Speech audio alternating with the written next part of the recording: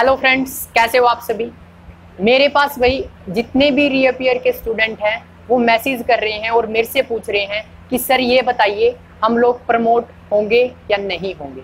तो आज इस वीडियो के अंदर मैं आप लोगों को डिटेल में बताने वाला हूँ और विद प्रूफ के साथ बताने वाला हूँ कि जो रीअपियर के स्टूडेंट हैं, उनमें से कौन कौन प्रमोट होंगे या नहीं होंगे। उसके अलावा आईजी यूनिवर्सिटी ने भी, इंदिरा गांधी यूनिवर्सिटी ने भी अपना रिज़ल्ट जारी कर दिया है और उसके अंदर जो सेकंड सेमेस्टर के अंदर रीअपियर वाले स्टूडेंट्स थे, उनको भी प्रमोट किया है। अब वो प्रमोट कैसे किया है, आप लोगों को इस वीडियो के अंदर डिटेल से और बिल्कुल सिंपल वे में बताने वाला उससे पहले, अगर आप चैनल के ऊपर नए हो तो चैनल को सब्सक्राइब कर लो बेल आइकन प्रेस कर लो, ताकि जो भी मैं एग्ज़ाम से रिलेटेड या एडमिशन से रिलेटेड अपडेट लेके आऊँ तो आप लोगों तक पहुँच जाए। उसके अलावा इस चैनल के ऊपर आपको फिजिक्स, मैथ और केमिस्ट्री से रिलेटेड वीडियोस भी मिलते हैं। वो आप प्लेलिस्ट में जाके चेक कर सकते हैं। तो सबसे पहले अगर मैं बात करूँ आईजी यूनिवर्सिटी ने तो उसके अंदर जितने भी सेकंड सेमेस्टर के स्टूडेंट थे और उनकी रीअपियर थी तो उनको प्रमोट कर दिया है।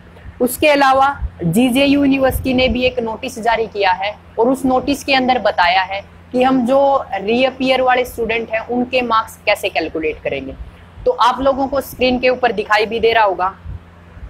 इसके अंदर जो बी पॉइंट है, उसके अंदर मेंशन किया गया है। और ये नोटिस आप देख सकते हो डेट आठ सात दो हज़ार बीस है भाई। यानी कि आठ जुलाई का है। और इसके अंदर ये मेंशन किया हुआ है in case of reappear examination of courses subject of those semester या years whose examination were due in April May June 2020 यानी कि जिन सेमेस्टर या जिन ईयर के पेपर अप्रैल, मई और जून के अंदर होने थे तो उनके अंदर किसी भी स्टूडेंट की रीअपियर है तो उसको कैसे प्रमोट करेंगे, ये बता रखा है।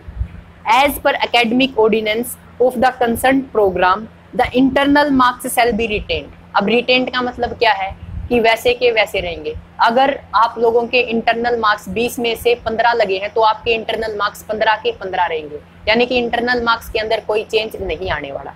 उसके बाद लिखा हुआ है and external marks shall be calculated on the basis of average marks of theory and practical courses including internal assessment marks of semester या year in which candidate has reappear एक बार फिर से रीड आउट कर देता हूँ इस line को. And external marks shall be calculated on the basis of average marks in theory and practical courses including internal marks यानी कि जिन स्टूडेंट्स की किसी भी सेमेस्टर या इवन सेमेस्टर के अंदर रीअपियर है तो उनको रीअपियर के marks theory plus practical plus including internal marks दिए जाएँगे। यानी कि आपके एक्सटर्नल मार्क्स काउंट होंगे, आपके इंटरनल मार्क्स काउंट होंगे, यानी कि इन दोनों को काउंट करके इनकी एवरेज निकाली जाएगी। अगर आपको मोटे तौर से बताऊँ तो आपके जो थ्योरी के अंदर मार्क्स आए हैं प्लस आप लोगों के प्रैक्टिकल के अंदर जो मार्क्स आए हैं प्लस आप लोगों के जो इंटरनल ठीक है? इन सभी का क्या निकाला जाएगा?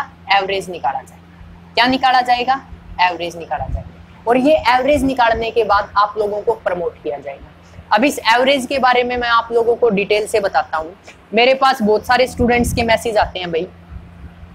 सबके रिप्लाई करना पॉसिबल नहीं होता तो इसलिए भाई मैं वीडियो बना रहा हूँ। तो आपको क्या करना है? मैंने एक एग्ज़ाम्पल दिया, भाई ये मेरे पास किसी स्टूडेंट की डीएमसी आई थी तो मैंने ये आप लोगों के लिए यहाँ पर बना दी। तो ये देखो, ये थ्योरी का पेपर है, इसके अंदर इसकी री है। उसके अलावा ये थ्योरी का पेपर है, उसके अंदर इसके क्या है? एबसेंट है। उसके अलावा ये थ्योरी का पेपर है, इसके अंदर इसके ज़ीरो मार्क्स है, यानी रीअपियर उसके बाद ये प्रैक्टिकल का पेपर है, इसके अंदर भी इसकी क्या है? रीअपियर है। तो मैंने जितने केस हो सकते हैं, इसके अंदर ले लिए हैं, और आप लोगों को डिटेल से बताने वाला सबसे पहले आप लोगों को क्या करना है? जो टोटल मार्क्स वाला कॉलम है ना उसके ऊपर चले जाना है ठीक है? और आप लोगों को क्या करना है जो आपके मार्क्स आए हैं यानी कि 58, 32, 15 इन सभी को ऐड कर लेना है। ओप्टेन मार्क्स को क्या करना है? ऐड करना है। 58 plus 32 plus 15 plus 80 plus 20 plus 58 plus 20 plus 65 plus 60 plus 70 इन सभी को ऐड करोगे तो आपको जो नंबर मिलेंगे, वो मिलेंगे फोर सेवन एट ठीक है? आप लोगों को लिख लेना है obtained marks four seven eight उसके बाद आप लोगों को मैक्सिमम मार्क्स वाले कॉलम के अंदर चले जाना है। यानी कि ये मैक्सिमम मार्क्स वाला कॉलम यानी कि मैक्सिमम कितने नंबर का एक पेपर है? तो एक पेपर सौ नंबर का है, और इसके ये दस पेपर हुए हैं।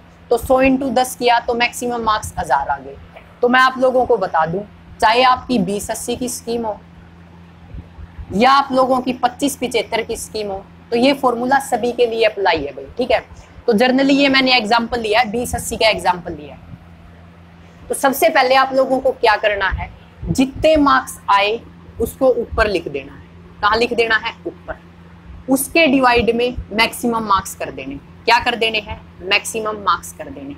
और इसको इनटू में हंड्रेड कर देना क्या कर देना है? इनटू में हंड्रेड कर देना एक बार फिर से रिपीट करता हूँ। आप लोगों के जितने मार्क्स आए, उसको ऊपर लिख लेना है। कितने मैक्सिमम मार्क्स हैं थाउज़ेंड उसको नीचे लिख देना है और इनटू में हंड्रेड कर देना है।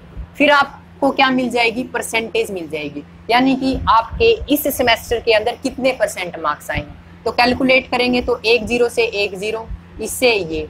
तो ये बन गए भाई forty seven point eight percent forty seven point eight percent अब इसको क्या देखना है आप लोगों को इस परसेंटेज के अंदर?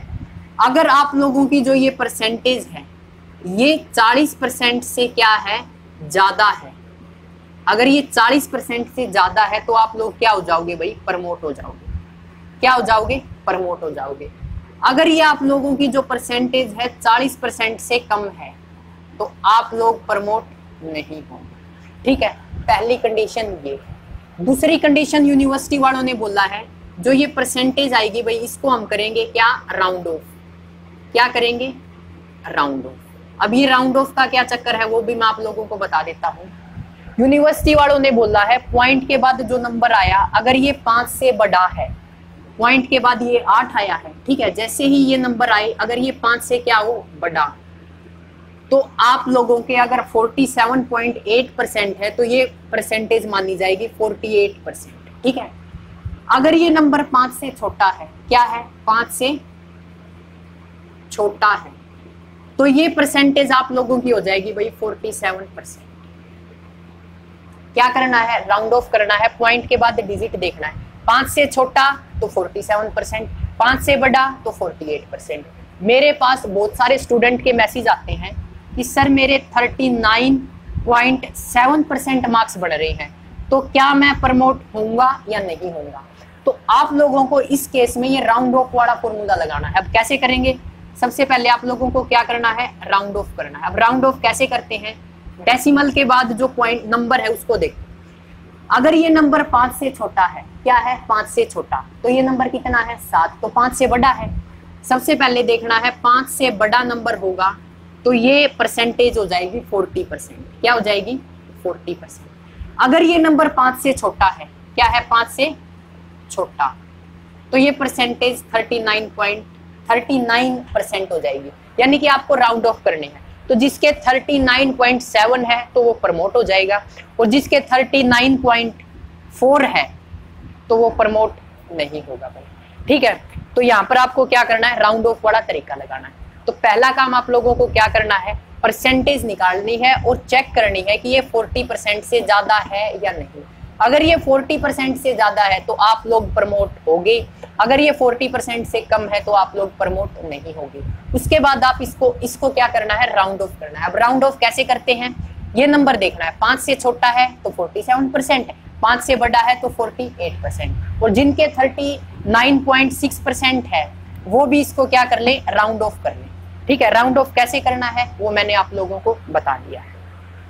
अब ये तो था भाई पता करना कि हम प्रमोट होंगे या नहीं होंगे। उसके बाद बात आती है जो रीअपियर आई है इसकी, इसके अंदर इसके कितने मार्क्स आएँगे, वो कैसे कैलकुलेट करने हैं? तो ये तो था भाई परसेंटेज निकालने का तरीका। तो इसके कितने मार्क्स हो गए भाई?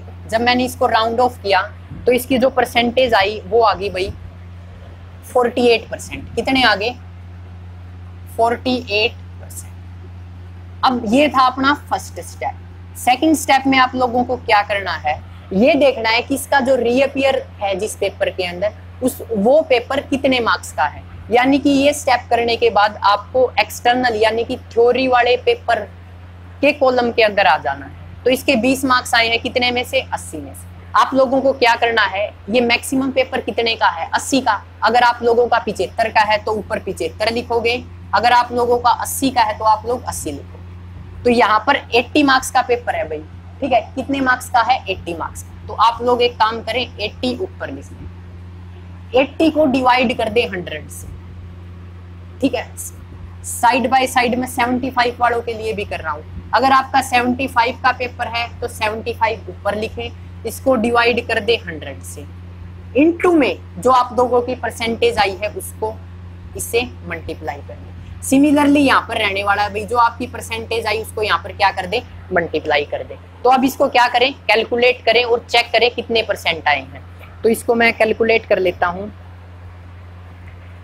इसके आगे भाई 80 डिवाइड बाई सो इंटू में 48 तो ये इसके भाई 38.4 मार्क्स आए हैं। तो इसको राउंड ऑफ़ करो।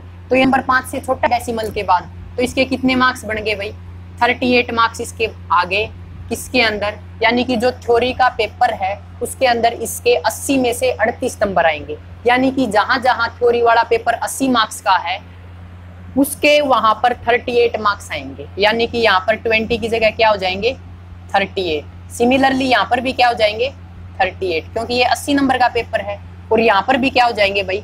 38 अब ये देखो प्रैक्टिकल कितने मार्क्स की है? 100 मार्क्स की। अब इसको कैसे कैलकुलेट करोगे? जो मैक्सिमम मार्क्स है, उसको ऊपर लिखना है। इनटू में सॉरी मैक्सिमम मार्क्स को ऊपर लिखना है डिवाइड करना है हंड्रेड से, और इनटू में परसेंटेज तो इसके प्रैक्टिकल के अंदर कितने मार्क्स आ गए? हंड्रेड से हंड्रेड कैंसिल तो ये आ गए फोर्टी एट मार्क्स तो यानी कि जो इसका ये वाला पेपर है प्रैक्टिकल वाला, इसके अंदर इसके अड़तालीस नंबर आ जाएँगे। ठीक है? उसके बाद क्या करना है? टोटल करके देखना है। अड़तीस प्लस बारह, कितना हो गया भाई? पचास। इंटरनल मार्क्स जोड़ने भाई, उसके बाद आपको। पचास नंबर हो गए। तो इसके जो री प्रमोट होने के बाद मार्कशीट आएगी, उसके अंदर सौ में से पचास नंबर मिलेंगे। अब यहाँ पर अड़तीस है। अड़तीस दस अड़तालीस और पाँच तिरपन। यहाँ पर इसके फिफ्टी थ्री मार्क्स हो जाएँगे। सिमिलरली यहाँ पर अड़तीस, बीस, अट्ठावन। तो इसके अंदर इसके 58 मार्क्स हो जाएँगे और यहाँ पर इसके क्या हो जाएँगे? 20 की जगह 48 नंबर हो जाएँगे। तो ये तरीका था भाई रिकैलकुलेट री के अंदर जो मार्क्स आए हैं, वो कैलकुलेट करने का। आप किस तरह से कैलकुलेट कर सकते हो? मैं एक बार फिर से रिपीट कर देता हूँ। सबसे पहले आपको टोटल वाले कॉलम के अंदर चले जाना है और यहाँ पर जाने के बाद आपको जो ऑप्टेंट मार्क्स है, उन सभी को टोटल कर लेना है। जब मैंने इसके ऑप्टेंट मार्क्स टोटल किए तो ये आगे 48 ठीक है, क्या आगे? Forty, four seven eight, forty eight नहीं सॉरी चार सौ अठहत्तर नंबर आ गए भाई इसके। कितने में से? हज़ार में से। तो आपको क्या करना है? मैं आपको फॉर्मूला बना देता हूँ भाई यहाँ पर। सबसे पहले आपको ऑप्टेंट मार्क्स लिखने हैं जो आपके आए हैं। डिवाइड बाय टोटल मार्क्स और इनटू में हंड्रेड कर देना। तो ये फॉर्मूला बन गया भाई।